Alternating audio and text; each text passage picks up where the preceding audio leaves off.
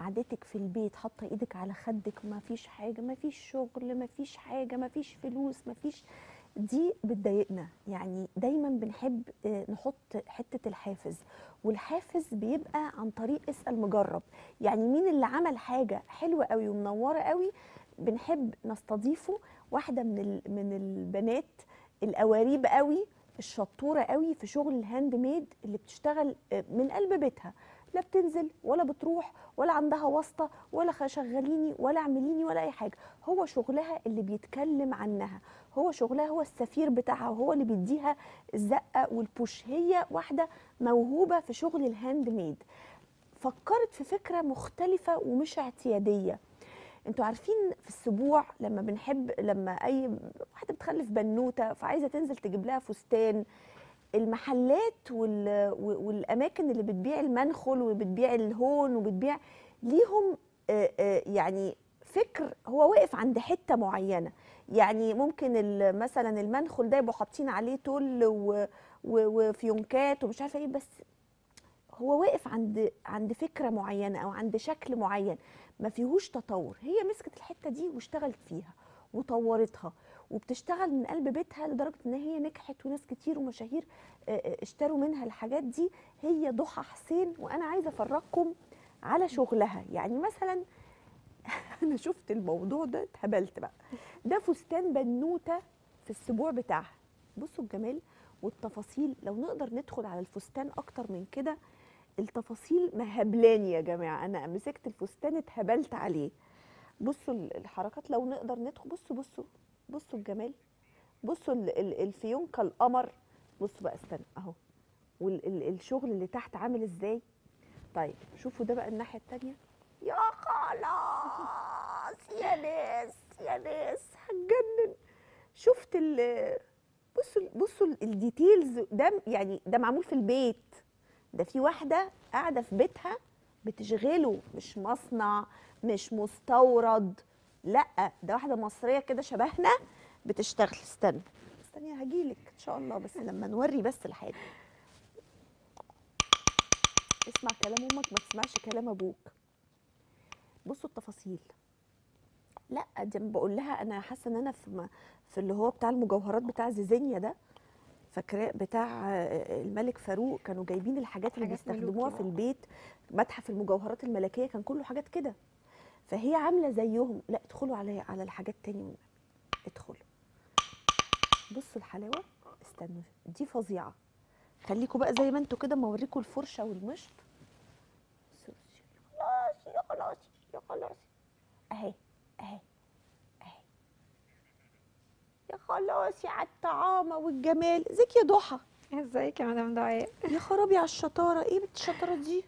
شطورة قوي. شفتي بقى؟ قواريب. إحنا. إحنا قواريب. انت عم... آه آه، أنا أنا بستضيف القواريب. أيوه.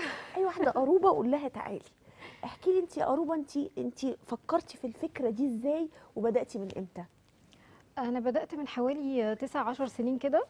تمام هي الفكرة جات لي بيوم فرح واحدة صاحبتي قبل الفرح يعني بفترة كده آه تمام أنا أصلا خريجة كلية رياض أطفال مم. مدرسة عادية جدا زي أي مدرسة في الدنيا مم. حاجات بشتغل حاجات ارت بسيطة قوي مم. مش اللي هي الحاجات الجامدة دي مم. آه واتجوزت وقعدت في البيت مم. فترة مم. حوالي سنة كده تمام إحنا كنا متفقين إن أنا ما فيش شغل وأنا كان تمام يعني أنا كنت زهقت من المجال بتاع التدريس ده و- ومش قادرة تعبتي وكده تعبت و- آه آه. والولاد مرهقين ومش قادرة أدي مم. فيه مم.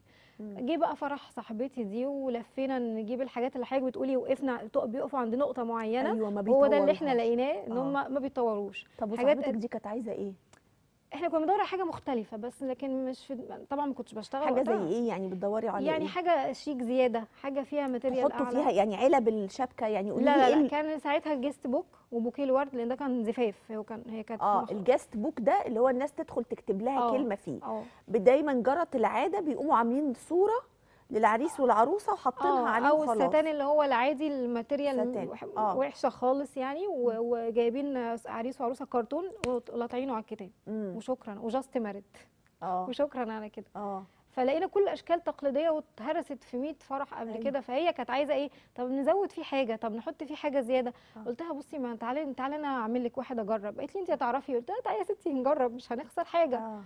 ساعتها بقى خدت مبلغ بسيط كده كان معايا في البيت. يعني كان ممكن طبعا أجيب حاجات أعلى بس أنا قلت إيه، أجرب حاجة بسيطة الأول. دي كان راس مال المشروع بتاعك بدأتيه آه. بكام؟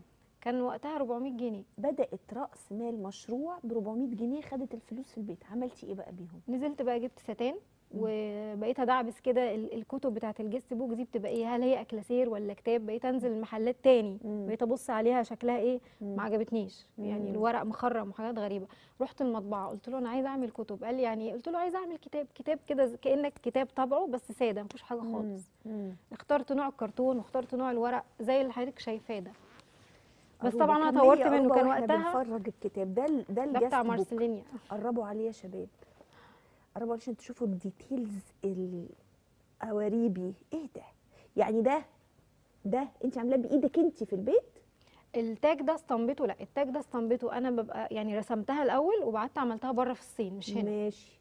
آه بتيجي بقى تطورنا بقى. آه بقينا بس ما هو ده بقى كان خطوة قدام. عشان توصل ل quality معينة. بصوا الفرو وبعدين إيه؟ الاستراسات كمان لأن في منه تقليد نازل بيبقى طبعاً. بلاستيك. أنا ما ب... يعني لا وده من هنا حطيت فيه دانتيل كده و...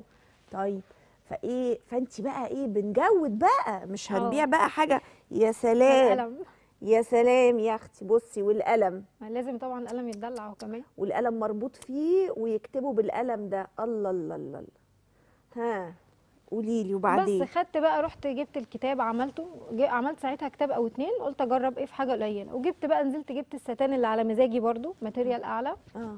وبقيت أدخل على اليوتيوب. بقيت ادخل على قنوات اجنبية بيعلموا فيها الكلام ده. آه. بقيت ادخل بقى وافتح دي بقت الفيديو ببلاش يا جماعة دلوقتي بس تدفعي بس اشتراك آه. النت. والحاجات دي بقت موجودة وببلاش والناس بتعلم نفسها بنفسها. في كورسات والله اونلاين كتير على اليوتيوب طبعاً. وبتجيب لك الحاجة بالخطوات هتعملي إيه. بس هي الفكرة في, في زي ما تقولي انت حضرتك قلتي إيه الموهبة. في ناس عندها استعداد وفي طبعاً. ناس لا. ما هو ممكن أنا واحدة تيجي تعمل نفس الحاجة مش هتطلع حلوة. أيوة أو تطلع أحلى. يعني ممكن. ممكن.